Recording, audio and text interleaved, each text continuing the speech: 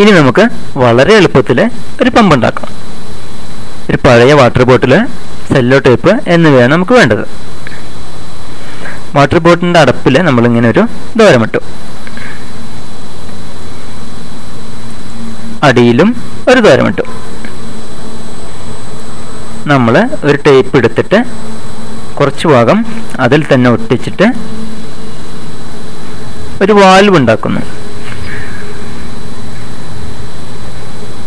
ഒരു വശത്തേക്ക് മാത്രം വെള്ളം കടത്തിവിടുന്ന തരത്തിൽ ആണ് വാൽവ് പ്രവർത്തിക്കുക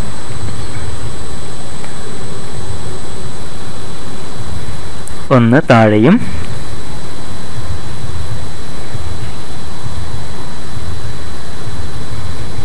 ഒന്ന് അടപ്പിലും. അടപ്പിന്റെ ഉള്ളിലും ബോട്ടിലിന്റെ താഴെ പുറത്തുമാണ് വാൽവ് ഉറപ്പിച്ചിരിക്കുന്നത്.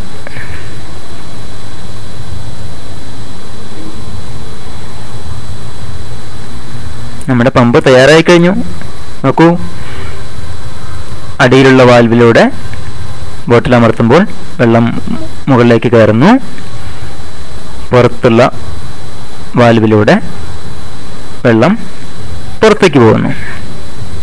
എങ്ങനെയുണ്ട്? ഇഷ്ടപ്പെട്ടില്ലേ ഈ പമ്പ്?